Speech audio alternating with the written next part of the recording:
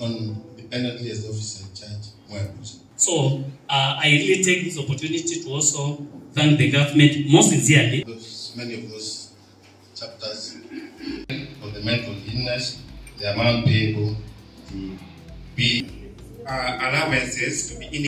Today, we are mourning the few officers who lost their lives in Turkana. But the question is, how many out of the, the officers went in that operation are disabled?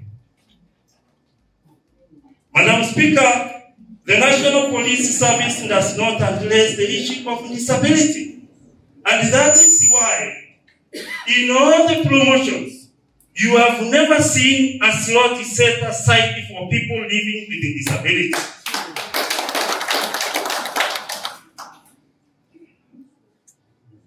It is my concern that in the next three promotions, we have slots set aside for people living with a disability. In the next awards, I was wondering the other day when I was attending a function at the DCI end of year party. Because all the officers who received commendations, head of state commendations, bravery, sijui what, all of them were strong officers in suits and ties.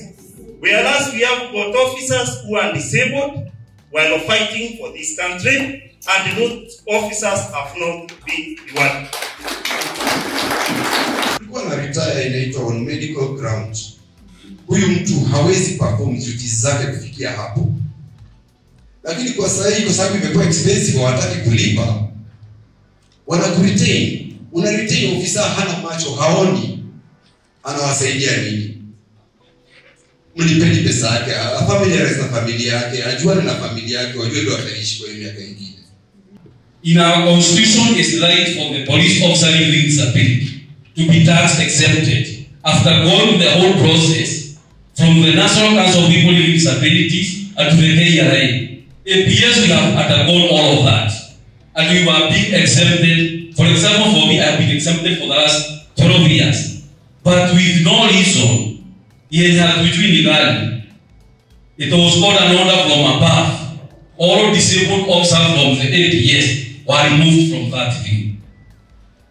Tuko na mwaka mzima tunalipa tax and we have a legal document on recruitment of the police staff.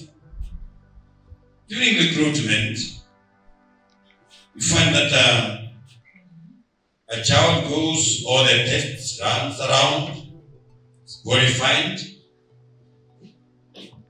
and after that, after that, you are, the child is asked, um.